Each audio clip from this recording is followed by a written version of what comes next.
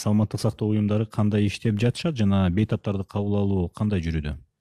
Бүгүнкү күндө саламаттык сактоо ишканалары могу эпидемиологиялык кырдаалга байланыштуу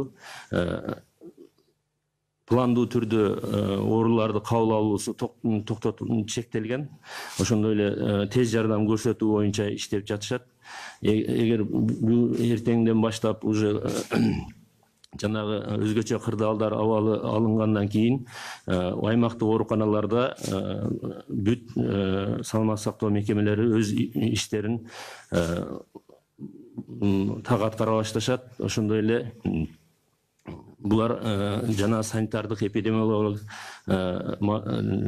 шарттарды аткаруу менен иштеп иштеп башташат эгер бүт бар жок жагында ошол өзгөчө кырдаалдар алынса анда мурдагы тартипте саламаттык сактоо мекемелери мурдагы тартипте иштей баштайт.